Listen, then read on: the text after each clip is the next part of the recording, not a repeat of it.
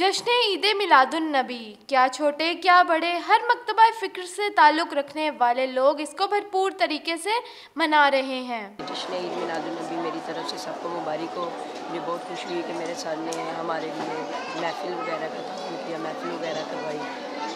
हमें बहुत खुशी हुई।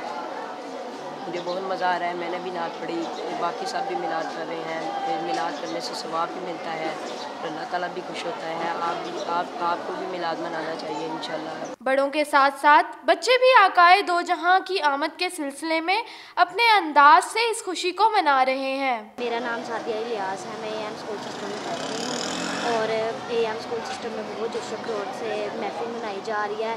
इस दिन हजम वसलम की विलादत का दिन है और बहुत जोश खरोश से मनाया जा रहा है। इस सब बच्चे आए हुए हैं और महफिल महफिल सजाई हुई है।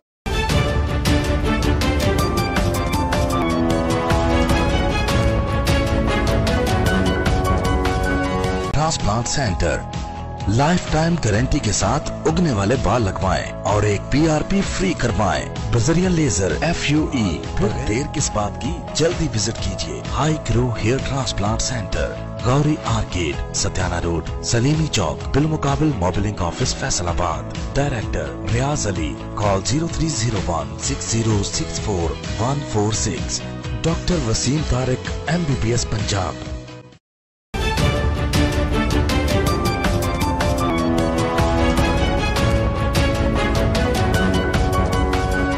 हजूर अक्रम सल्लल्लाहु अलैहि वसल्लम पर दरूद सलाम भेजने के लिए अजरा मखसूस स्कूल सिस्टम के बच्चे भी किसी से पीछे नहीं रहे। बच्चों ने डफ के साथ खूबसूरत नाते और दरूद सलाम पढ़ा।